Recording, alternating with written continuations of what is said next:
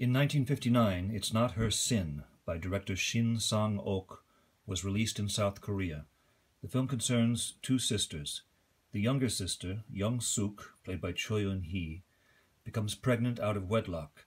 Her married but infertile older sister, Sung Hee, played by Ju Jung-nyo, conceives a plan to which Young Suk readily agrees. The sisters go away discreetly together to a private clinic for several months, while Sung Hee's husband is away on an extended trip.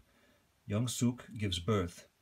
On re entering society, the sisters let it be known that Sung Hee is the child's mother.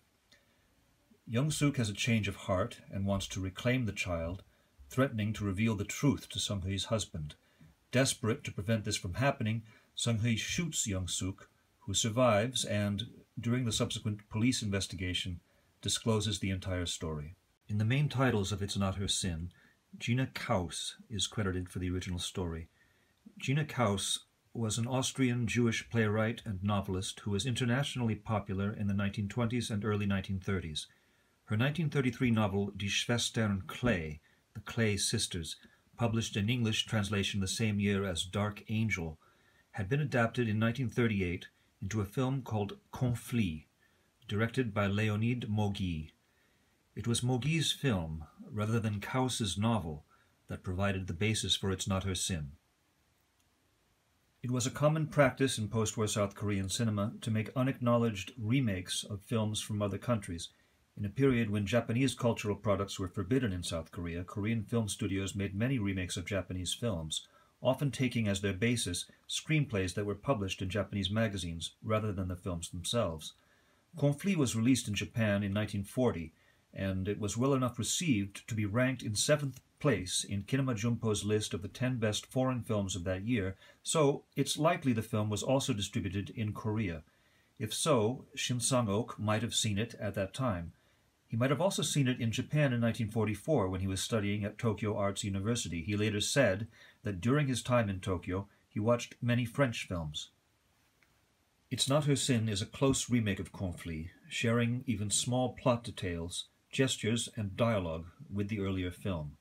The ways in which It's Not Her Sin departs from Conflit are very interesting. In It's Not Her Sin, it is made clear that the heroine was adopted by her older sister, whereas in Conflit, the two sisters have the same father. Why did Shin Sang-ok make this apparently pointless change? Perhaps in order to emphasize the investment of patriarchal authority in a different figure.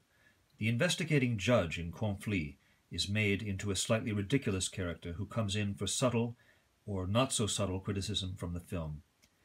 The equivalent figure in It's Not Her Sin is never comic or ridiculous and seems not only highly competent but rather threatening. In Conflit, the older sister's husband is an explorer. In It's Not Her Sin, he is a diplomat charged with maintaining Korea's vital relationships with America and Europe. The shooting now occurs not at the Archaeological Museum, but at the Ministry of Foreign Affairs. Thus, the shooting has political ramifications and even potentially threatens the national project. This explains why the investigator appears so grim. In both films, the pregnant heroine briefly contemplates getting an abortion. The way in which this plan is abandoned is strikingly different in the two films. In Conflit, Claire, accompanied by her sister to the clandestine abortion clinic, spontaneously decides not to go through with the operation. In It's Not Her Sin, Young Suk arrives for her appointment at the same time that the previous patient is leaving. The emphasis on the discomfort of this anonymous woman reveals another way in which It's Not Her Sin differs from Conflit. Sung Hee slaps Young Suk, precipitating Young Suk's flight to the Ministry of Foreign Affairs. In Conflit there is no slap. The fight between Claire and Catherine remains purely verbal.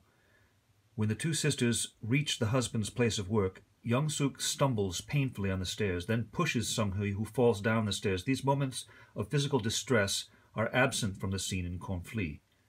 Whereas Young Suk reacts to being shot with visible anguish, Claire appears simply to faint. The shooting, by the way, is echoed in It's Not Her Sin by another bit of gunplay that has no equivalent in Conflit. Oh.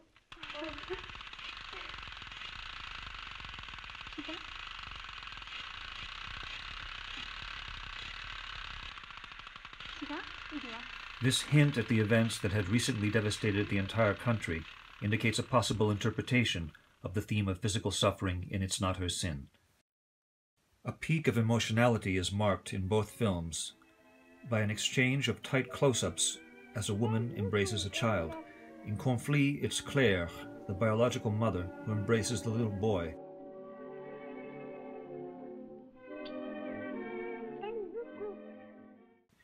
In It's Not Her Sin, the peak moment is moved to the last scene of the film when Sheik embraces Sung Hee after her long period of separation from him because of her incarceration.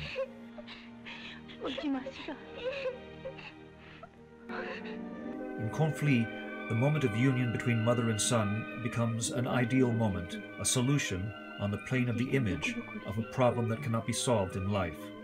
And it's not her sin, the reunion between the son and the, his foster mother, while it marks the real possibility of rebuilding the family, at the same time condemns young Suk to exile and grief.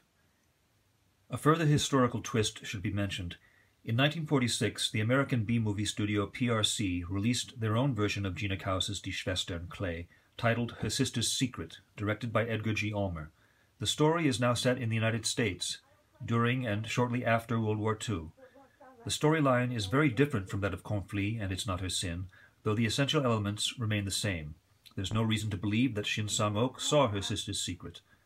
All three films are in implicit solidarity with the feminism, the criticism of society, and the psychological insight of Gina Kaus.